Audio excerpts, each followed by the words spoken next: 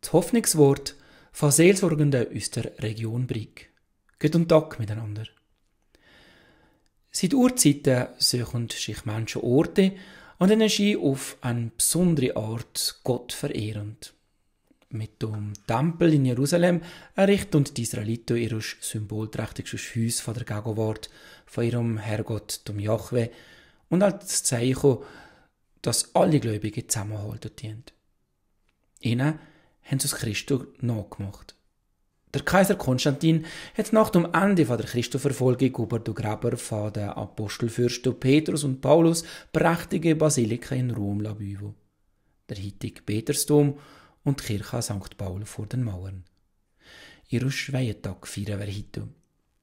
Dagegen sind unsere Kirchen fast wie kleine Kapellen. Aber immer, wenn wir in einer von unseren Kirchen sind, dürfen wir uns daran erinnern, dass wir selber Kirche sind. Unser uns lebendige Steine oder, wie es der Apostel Paulus an die Korinther formuliert, der Tempel Gottes ist heilig und der sieht ihr.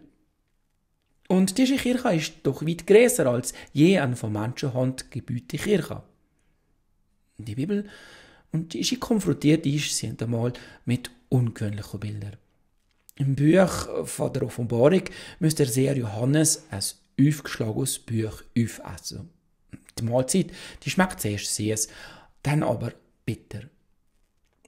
Diese symbolische Handlung, das soll zeigen, dass der Prophet die ganze Wahrheit muss verkünden und nicht nur das, was bei den Hörern könnte gut ankommen, sondern auch das, was ihnen könnte aufstoßen.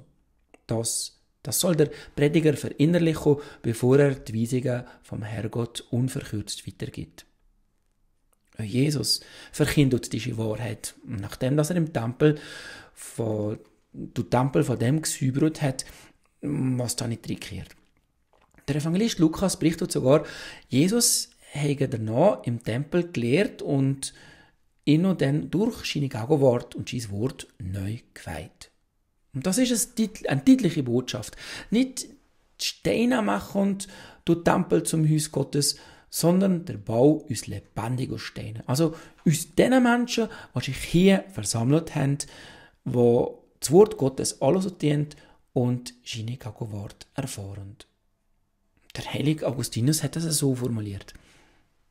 Das hier ist das Haus Gottes, in dem ihr zum Beten zusammenkommt, wo ihr an den göttlichen Feiern teilnehmt, wo ihr die Bitten zu Gott emporsendet und wo ihr die Sakramente feiert. Wollt ihr aber wirklich die Kirche aufbauen? Ihr seid das Haus Gottes. Liebe Hoffnungstragerinnen, liebe Hoffnungstrager, liebe lebendige Bausteine von unserer Kirche, ich wünsche auch Gottes reichsten Segen und eine gute Zeit.